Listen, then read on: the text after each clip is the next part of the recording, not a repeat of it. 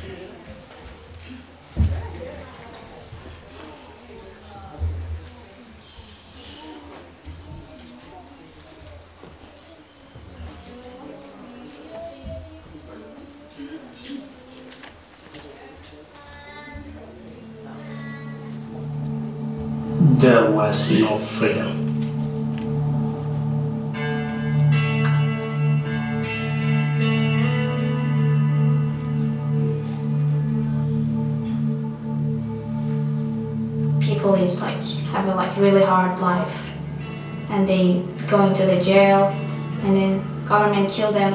The entire Sudanese civil war uh, started in my hometown. Everybody's corrupted. Everyone is corrupted. There's the rebels. There's all these people fighting.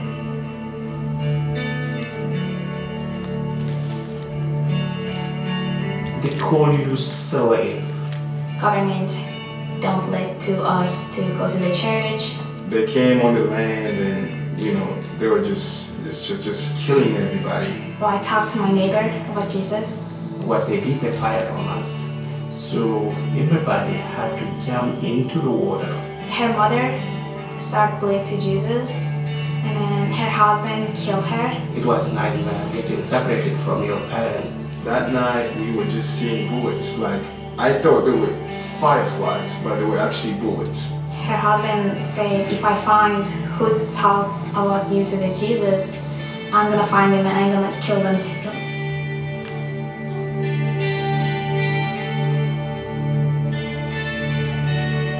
We escaped and got into the mountains, into the forest. We had actually run uh, quite fast indeed. My parents, they say like we can live here anymore. And we found ourselves in a refugee camp in Ethiopia. I lived in a refugee camp for seven years. And we went to the United Nations. I did always pray about getting to a better place.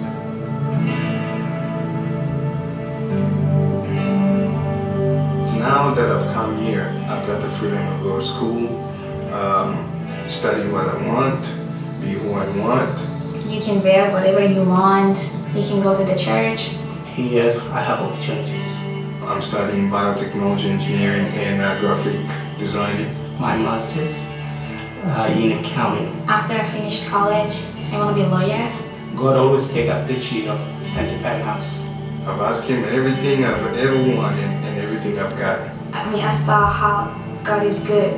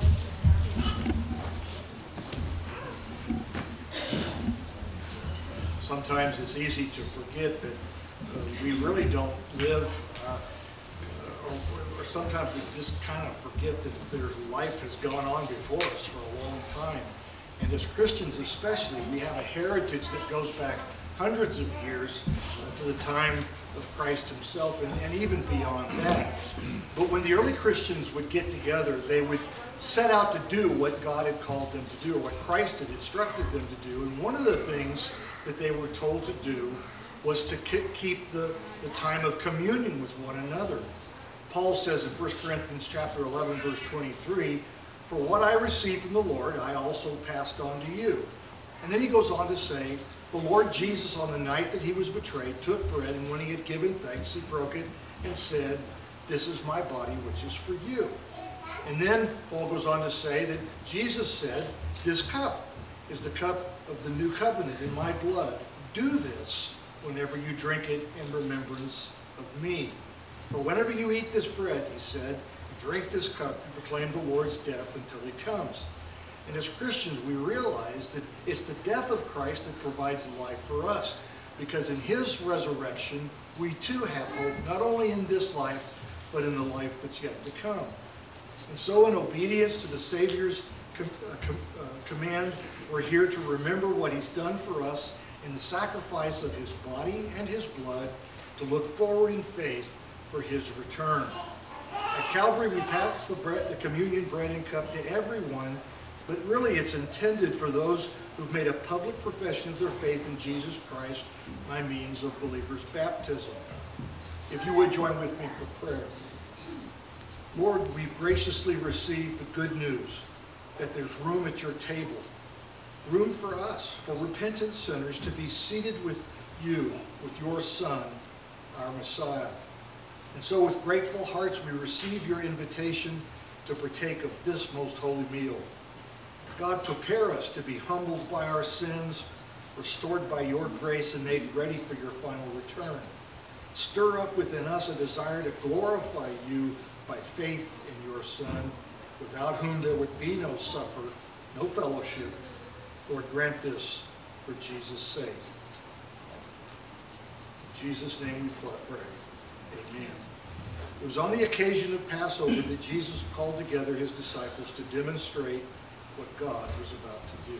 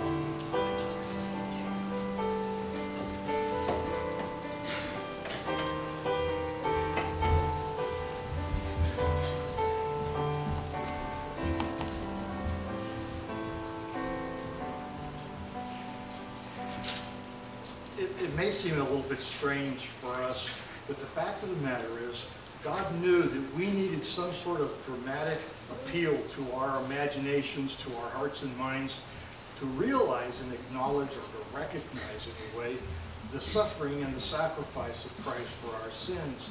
And so he gave us this symbolic meal, which represents the wafer representing the body of Christ and the juice representing the blood. And these are COVID responsible cups, so we uh, take off, I know, it's crazy, isn't it? Uh, Jesus is gonna come when we're doing this.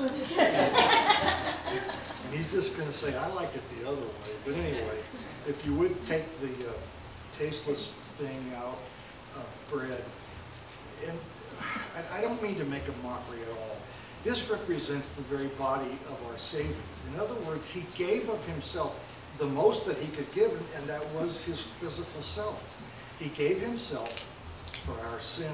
He took our place on the cross so that we wouldn't have to suffer for our sins. If you would join with me, please, first. Lord Jesus, we keep thanking you, but we really can't thank you enough for all that you've done. And one of the most important things you've done, Lord God, is you've uh, embraced death by taking our death and our sins upon yourself on the cross and receiving the punishment that we deserve. And that in your taking away our sins, Lord, we can be uh, liberated, set free, just like these people on the video were sharing, that we have such great liberty in our country. Plus, on top of that, we have the liberty of, of the gospel of Jesus in our hearts and our lives to keep us mindful of the fact that life is more than just making a living or, or just doing what other people do and trying to look as good as they do, but it's about having a relationship to the Creator. And we're grateful to you, Lord Jesus, for providing that, uh, that, that relationship. In your name we pray. Amen. And then if you just peel off the top of that again, it exposes the juice. And what this juice represents is the blood of Christ. We know, and I don't know if you've ever been around uh, maybe a, an accident or, or uh, you know, some kind of a terrible occurrence, but the smell of death, uh, and it, mostly it's blood, is a horrible thing. It, it just, it's repugnant uh, to the human uh, mind. it's just awful. Uh, and yet, Jesus literally gave his blood as a sacrifice for our sins. Lord Jesus, once again, we're here to give you thanks because we don't know what else to say. It, it all seems like sort of a fairy tale or a, a just sort of a myth or a made-up story to a lot of people. But for us who've been chosen by you to become believers, dear God, it's the very life spring of everything that we are. Without you, Lord God, we're just like everybody else. We're just another person. But with you, we have the, the force of the entire universe at our disposal because of your goodness and your kindness. We thank you, Lord, that you would just uh, accept our thanks and use us, dear God, this day to share this great news of liberty, not only for our country. We're grateful for our country, for our president, for uh, those who serve. I know we make fun, and I'm one of the worst, to kind of gripe and complain about what these people do. But we ask your guiding hand upon them and ask your uh, conviction in their hearts to do the right thing for the people of this country and to extend liberty to people everywhere. That we too might extend uh, that liberty here in our country beyond even to the souls of people who have been enslaved by sin, that your gospel would reign in their hearts. In your blessed name we pray.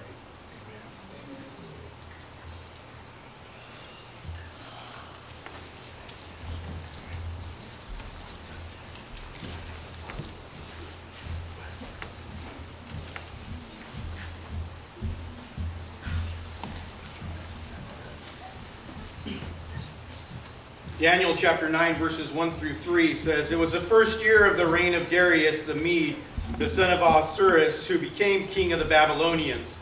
During the first year of his reign, I, Daniel, learned from reading the word of the Lord, as revealed to Jeremiah the prophet, that Jerusalem must lie desolate for 70 years. So I turned to the Lord God and pleaded him with, with him in prayer and fasting. I also wore rough burlap and sprinkled myself with ashes.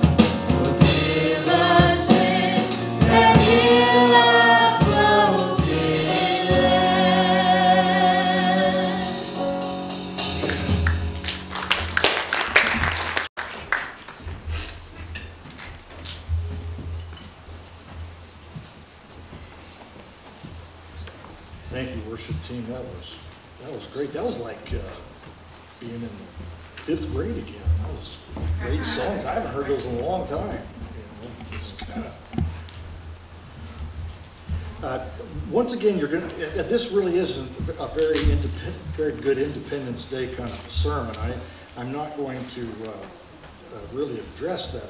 I'm, I'm, going to continue on with uh, the book of Daniel. But if you have your Bibles, I really want you to uh, turn to Daniel chapter 9. Uh, and, and, we're going to look at these. I'll, I'll have it on the screen, but uh, it really, I, I, hope that you'll get something from it. We've been considering the prophet Jeremiah's original prophecy uh, where you know all of this uh, drama kind of comes from. Uh, that because of Israel's idolatry, because of her sinfulness, the whole country, he said, would become a desolate wasteland, and they would serve the king of Babylon 70 years. And, and the way you know that a prophet is a true prophet is that the prophecy comes true. And uh, Jeremiah was right on the spot. I mean, they were absolutely, they had lost their land, they had lost the temple, they'd lost everything, just as God had warned them.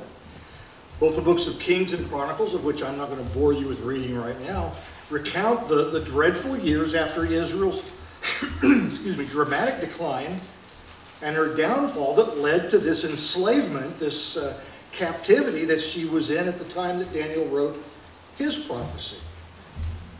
Having studied Jeremiah's prophecy, some 70 years uh, after the fact, the prophet Daniel now says in chapter 9, verse 2, in his book, that he understood the word of the Lord given to Jeremiah. In other words, it made sense to him, and, and Jeremiah had it right, that the desolation of Jerusalem would last 70 years. So he, that is, Daniel prayerfully petitions God to fulfill his promise to deliver now the Israelites from exile and return them to their homeland so that they could rebuild their temple. When the 70 years are completed, the Lord had promised Jeremiah I will come to you and fulfill my good promise to bring you back to Israel. Well, that's the way it's going to work. I'll promise this, and then I'll fulfill it. And so in Daniel chapter 9, verse 20, the prophet Daniel receives the details of how God's going to fulfill his plan using the angel Gabriel as his spokesperson. So let's look at chapter 9, beginning with verse 20. While I was speaking and praying, this is Daniel talking, confessing my sin and the sin of my people and making my request to the Lord my God for his holy hill, verse 21, while I was still in prayer. Gabriel, the man I had seen in the earlier vision, he refers to Gabriel as a man only because he had the figure of a man. This still is nonetheless an angel. I had seen in the earlier vision that as Gabriel came to me in swift flight about the time of the evening sacrifice. Verse 22, he instructed me and said to me, Daniel, I have now come to give you insight and understanding, which is my hope that we will gain. As soon as you begin, verse 23, as soon as you begin to pray, began to pray rather, a word went out which I have come to tell you, for you are highly esteemed. Therefore, consider the word and understand the vision. In other words, I can tell even by the posture of your prayer, the fact that you act, responded to me in prayer, that this is something that, that, that you need to have fulfilled. Like Jeremiah's prophecy at the beginning of the 70 years, Gabriel's message to Daniel was important to God's people and their future. Now, at this point, they weren't sure really what would become of the nation since it was the Babylonians that had taken over or had taken them in, into enslavement, but it's the Medo-Persians who have taken over the Babylonians in 539 BC. So they've changed management, so to speak. So Daniel carefully studies Jeremiah's prophecy to see what God's people might expect in the time to come. And I'm sure he gathered them up in a group like this and he said, now you guys listen, this is, this is what I got. Let's pick up in verse 24. 77s. And you know right away we're in trouble because what is that about? 77s are decreed for your people, your holy city, to finish transgression, to put an end to sin, to atone for wickedness, to bring in ever- everlasting righteousness, to seal up vision and prophecy, and to anoint the most holy place. Know and understand, verse 25. From, the, from this time forward, from the time forward, goes out, excuse me, from the time the word goes out to restore and rebuild Jerusalem until the anointed one, the ruler comes, there will be seven sevens and 62 sevens. It will be rebuilt with streets and a trench, but in times of trouble. After the 62 sevens of trouble, after, excuse me, after the 62 sevens, the anointed one will be put to death and will have nothing. The people of the ruler who will come will destroy the city and the sanctuary. The end will come like a flood. The war will continue until the end, and desolations have been decreed. He will confirm a covenant with many for ones for one seven. In the middle of the seven, he will put an end to the sacrifice and offering, and at, and at the temple he will set up an abomination that causes desolation until the end that is decreed is poured out on him. Everybody's got that, right? As Daniel explained to Jeremiah, uh, or uh, as, uh, eh, or excuse me, as Daniel examined Jeremiah, he would have to read chapter 30, he would have to have read chapter 31, verse 31, where God had promised that the days are coming when I will make a new covenant. You see, the things with Israel just hadn't worked out. These people were just, they just, ugh. It will not be a covenant like I made with your ancestors, that is the Israelite ancestors, because they broke my covenant, declares the Lord. I will put my law in their minds and write it on their hearts. I will be their God and they will be my people. No more tablets of stone. It's going to be right in here, in your heart. You see, not only had God promised Israel that they would return to their homeland and rebuild the temple, of which they would, but that his covenant would be renewed and that the Messiah would come and establish his kingdom on earth as it is in heaven. Gabriel's prophetic proclamations in Daniel chapter 9 would provide the insight and understanding for those who, like the prophet, were wise enough to listen and learn. And it's not easy, I grant you. It had been a long 70 years. They had lived as slaves in a foreign land under foreign rule. So Daniel, who had already suffered being put into a lion's den for praying once before, prays again fearlessly to God for insight and understanding. You see, Daniel feared God more than he feared the king. While I was speaking and praying, says Daniel in verse 20, confessing my sin and the sin of my people Israel, Gabriel said to me, Daniel, I have now come to give you insight and understanding. For Daniel, those living within the time frame of Jeremiah's 70 year prophecy, God's judgment had been harsh because of Israel's harsh sinfulness savage sinfulness. But hopefully, all of this was going to be over. What's more, even though the conclusion of the prophecy was near, there were still going to be some painful reminders of just how sinful Israel had been. As we've read, the Lord promptly responds to Daniel's prayer by sending Gabriel, who explains God's prophetic plan, including the events in Israel's expected future, or what's referred to as the 70 weeks. That's where things get a little bit complicated. Even in our English translations, it's easy to see that the number seven is being used here symbolically to represent God's complete and perfect plan. We've got to be careful about getting all caught up in this, well, seven times seven, all this kind of stuff. This is not a math quiz. This is intended to give you, it's, it's like the book of Revelation, it's intended to give you and me the courage to face the trials and tribulations that are a part of this world that we live in. God's plan for Israel was to fulfill Jeremiah's prophecy by answering Daniel's prayer and delivering his people back to their homeland. But there was so much more on God's mind than just the rescue of Israel from foreign captivity, as we'll see. God's plan would require the people's persistent faithfulness and trust in his plan, despite the occasional bumps and bruises that were sure to come. His 1985 book, Beyond Hunger, Art Beals tells a story about the late Senator from Oregon, Mark Hatfield, who was touring Calcutta in, in India with uh, Mother Teresa in the late 70s. They were visiting the infamous House of Dying, if you know anything about the Sisters of Charity, you know that they operate this house where unwanted children uh, are left by their parents who can no longer care for them in the last days of their life, lives. It's just, it's horrible. Anyway, there were suffering patients lying everywhere as he and Mother, uh, Mark Hatfield and and Mother Teresa were looking on lying everywhere in make, on makeshift cots, uh, with people lined up by the hundreds uh, outside waiting for their turn to receive the sister's care. Watching Mother Teresa and her team tirelessly minister to these poor dying children, uh, feeding and nursing them unto their death, Hatfield was overwhelmed by the sheer magnitude of the suffering and heartache he was seeing, and I, I can't even imagine. How can you bear the load, he asked Mother Teresa, without being crushed by it? And she quietly replied, My dear Senator, I'm called to be, I'm not called to be successful, I'm called to be faithful.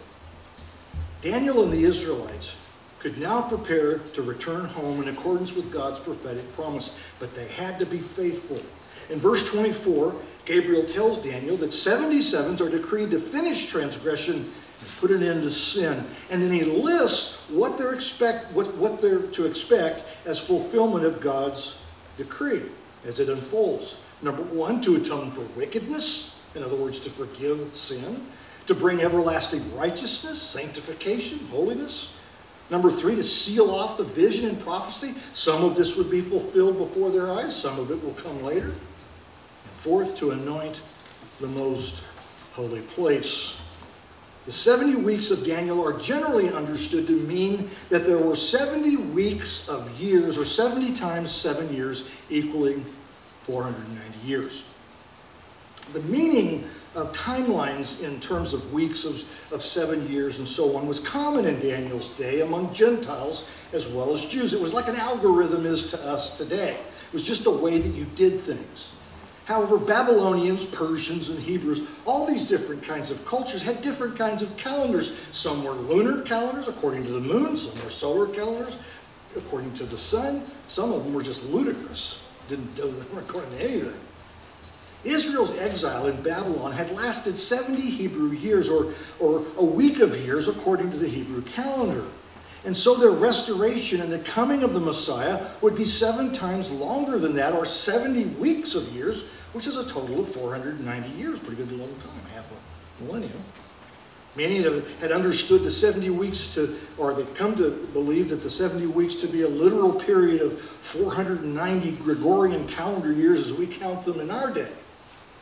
However, they didn't use a Gregorian calendar in Daniel's day, and the Julian calendars that's been imposed upon a lot of scripture was just one among many that the people in various cultures used in their day.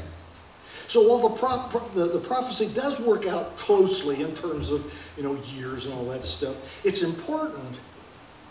Its importance really is less about precision time-wise and more about the historical significance of God's intervention. It's like the book of Revelation. Don't get caught up in the details of something that's meant to tell you something very obvious. Like the 70 years of Jeremiah's prophecy, which actually works out to something like 66 years, according to our calendars anyway, trying to pin down the precise historical proof of exactly 70 solar years is just impossible. So all these modern day wizards of end times prophecy who use uh, this and other passages to substantiate their popular claims uh, are misleading, I think, to say the least. But it's worth noting that the numbers 7 and 70 are used symbolically throughout Scripture to represent God's complete perfection, the sum of which was part of his plan for Israel. Like in Matthew chapter 8, verse 18, verse 22, where Jesus responds to Peter's question, How many times should I forgive a brother or a sister who sins against me? And the Savior says, 70 times 7. Now, of course, Jesus wasn't suggesting that Peter forgive an offender exactly 490 times and then on the 491st, you know, slap the snot out of him. That misses the whole point. It makes sense to understand the 7 times 70 in Daniel as being symbolic, as are most biblical numbers, rather than literal. So kind of avoid that stuff if you can. It makes sense to understand the 7 times 70 as symbolic. From Daniel's perspective, the time frame was arranged to show how the Messiah would do away with Israel's transgression or sin and achieve her restoration, not decode the exact day of the Messiah's arrival. Despite the difficulty of this passage, and I understand that it can be difficult, Gabriel really wasn't trying to confuse or discourage Daniel, even though its fulfillment would come a long time after he was dead. I mean, let's face it, Daniel was 80 years old at the time, and by the then he was staring old age in the face. I don't think he expected to witness the rebuilding of Jerusalem or the temple before he died. Despite the human desire for immediate gratification, that just isn't how God works. I'm not sure what all the virtues we lost when Adam and Eve sinned in the Garden of Eden, but I'm pretty sure that patience was one of them because I don't have any. Most of us could barely remember the days when we had to wait for television and radio tubes to warm up before we could watch our favorite black and white cartoons. That's old, isn't it? you guys don't even know what I'm talking about. Yet Daniel 9 reveals that God's time frame for the salvation of his people and the restoration of their land wasn't going to happen overnight, but it was going to happen. Now, Daniel's vision revealed the, com- the completion of Israel's promised restoration, that it would come in stages. The first stage, meaning the first set of sevens or weeks, would include the time from God's answering Daniel's prayer for Israel's restoration to the time when that restoration actually occurred, along with the rebuilding of Jerusalem and the temple. Now, it's not likely that the decree to restore and rebuild Jerusalem mentioned in verse 25 was necessarily referring to the particular decree of King Cyrus or Xerxes or some of these other kinds of kings, as is often assumed. Rather, it was God's response to Daniel's prayer in verse 23 that marked the beginning of the fulfillment. The distinction between earthly and heavenly decrees is vital to gaining insight and understanding with regards to Daniel's prophecy in chapter 9. The first seven of Daniel's 70 weeks shows God's response to Daniel's prayer that Jerusalem would be rebuilt. Jeremiah's 70 years prophecy would, would find partial fulfillment when this was um, accomplished, sure enough, in 515 BC, upon the completion of the second temple under the leadership of Ezra and Nehemiah. You see, there was a, a temple that Solomon built. It was destroyed by the Babylonians. And then there was a second one that was built. It's the one that they built it, and then after they were done, they looked at it and said, gosh, it sure isn't Solomon's temple. Anyway, the period of restoration, along with the uh, subsequent 62, 62 sevens after the city was rebuilt, would also be a time of trouble for God's people, just as Gabriel had warned. Israel wouldn't enjoy complete safety and freedom as described in Jeremiah 33:16 with regards to the new covenant just quite yet.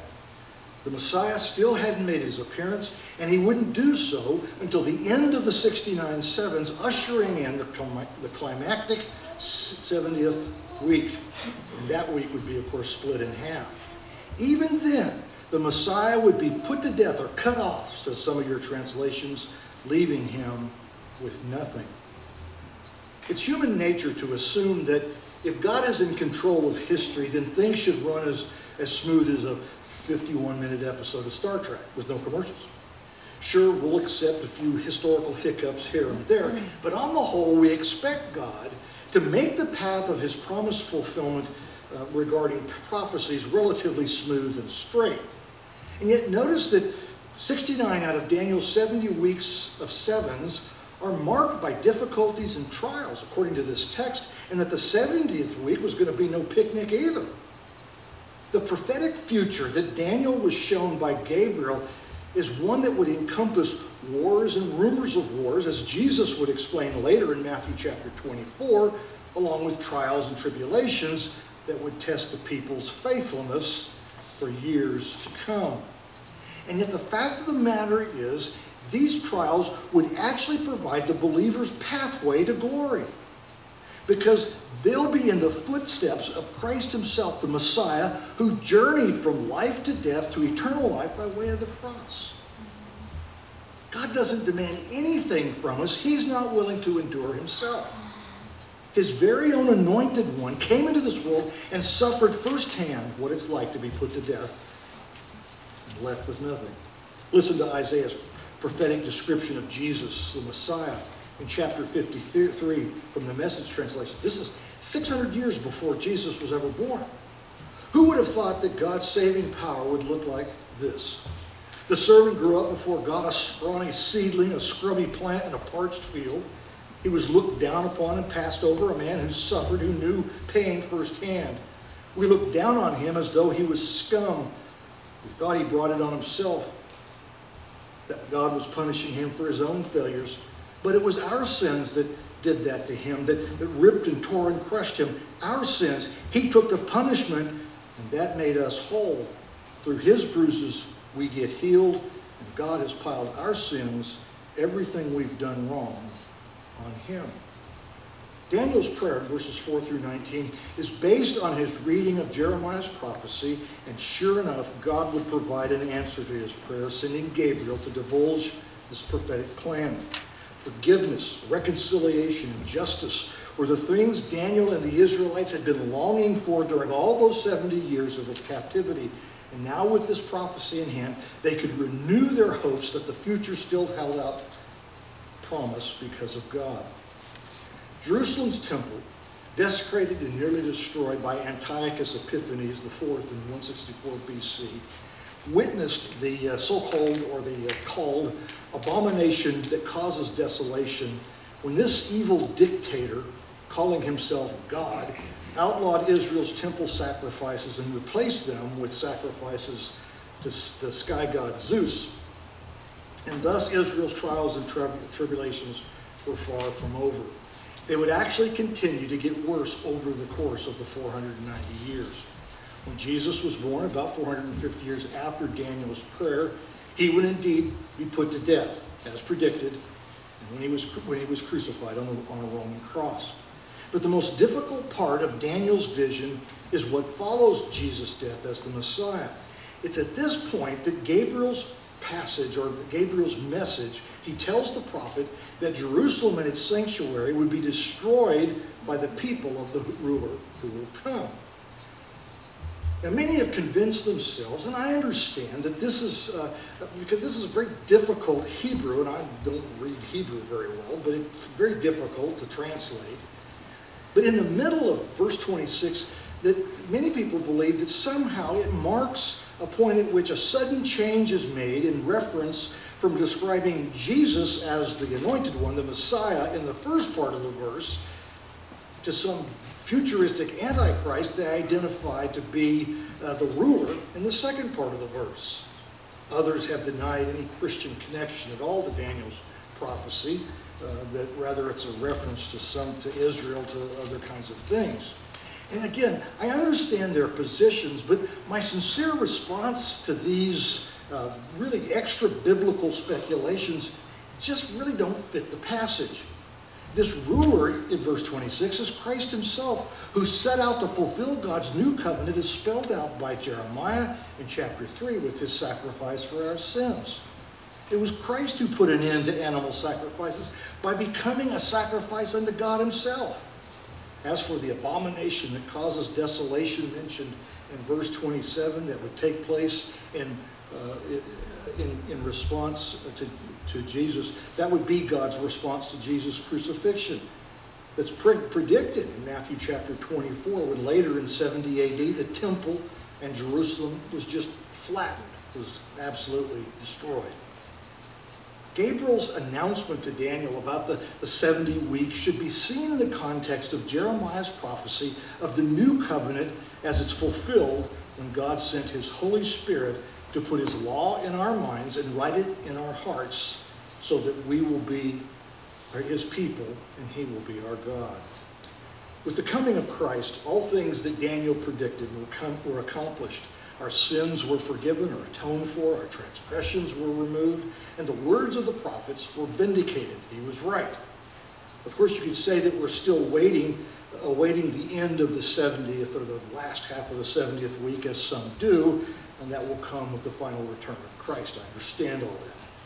But when Jesus breathed his last breath, the curtain separating the holy place from the Holy of Holies was torn from top to bottom, thus symbolizing not only our direct access to God as individual believers, but the final departure of God from his temple and from Israel after the nation had broken the covenant for the last time, the old covenant, by killing his only begotten Son.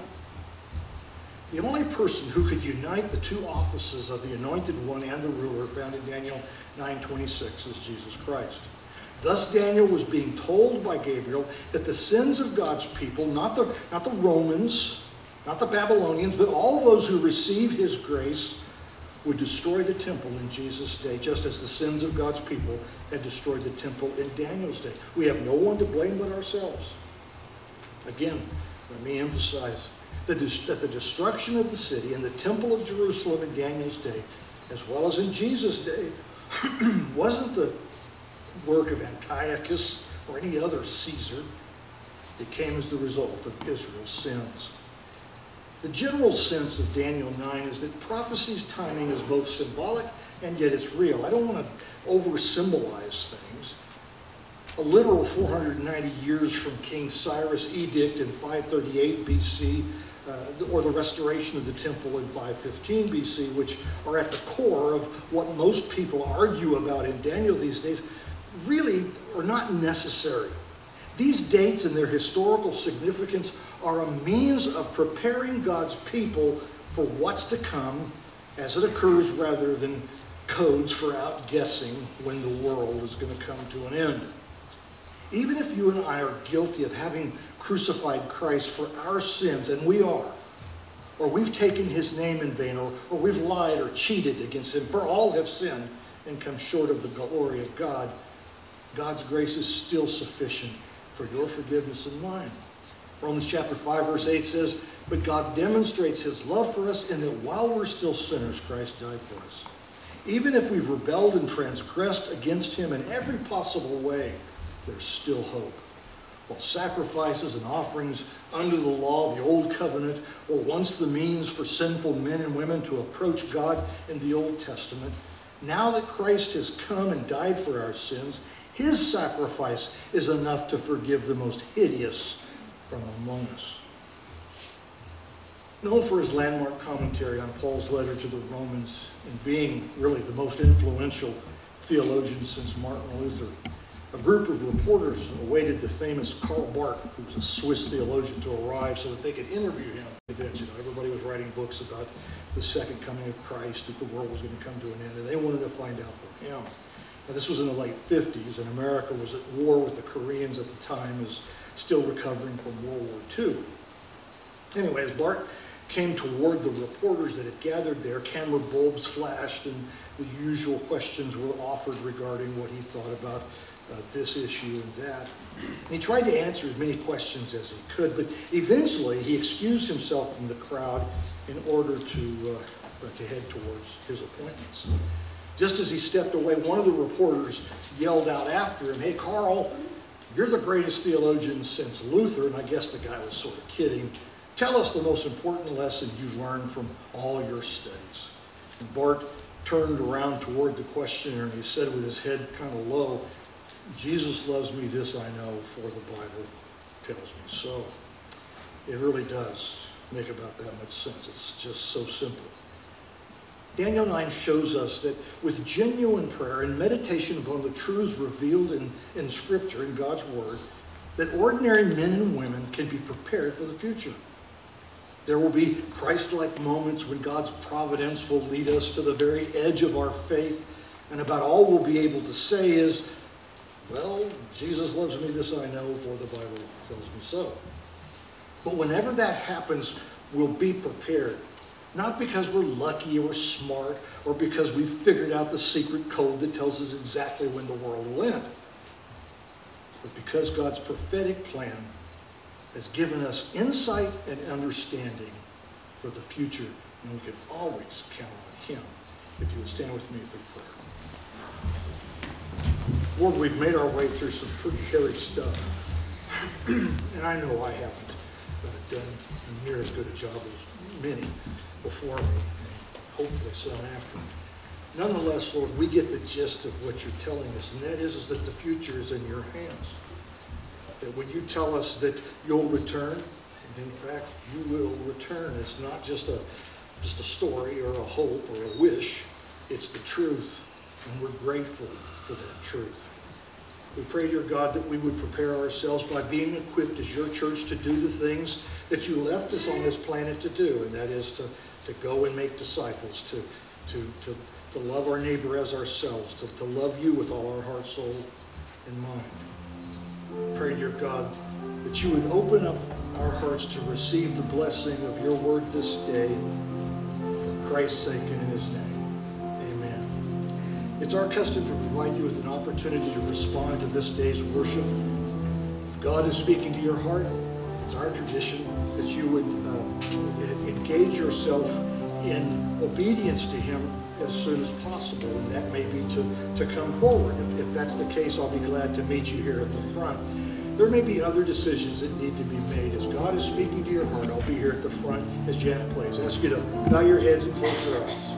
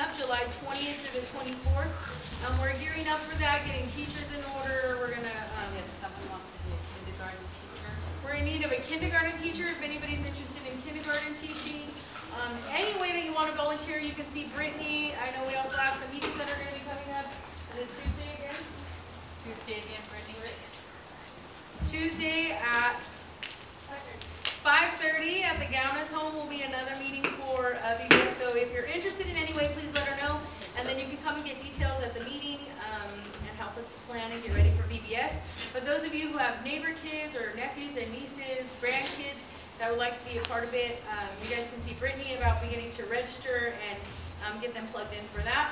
We want to say happy birthday to those celebrating a birthday. Um, Cindy Casho and Miss Jesta are celebrating birthdays this week, so happy birthday from your church family.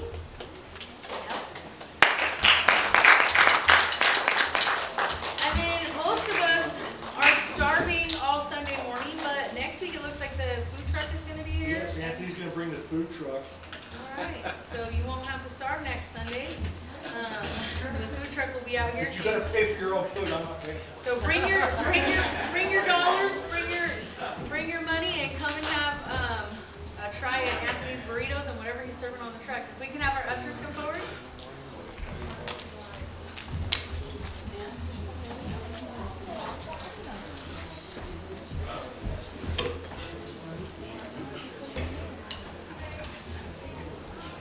Let's pray. Uh, Dear Father, we thank you for today, Lord. Thank you for your word, Heavenly Father. Uh, Thank you for being so good to us, Lord. Uh, What your word says, Lord, that you appoint everybody to be born wherever time you want, Lord. And thank you for let us, let us live in this country with all the freedoms that we have, Lord. As in, we've seen those people in the video, Lord, what they go through, Father. Uh, Help us not to take it for granted, Father, everything that you give us in this country, Lord. Help us to continue, Lord, on our knees, Lord, to make this country uh, the way you want it to be, Lord. Thank you for everything, Lord. Thank you for loving us and being good to us, Lord. We praise you, Father, for there's no God like you, Lord. In Jesus' name we pray, amen.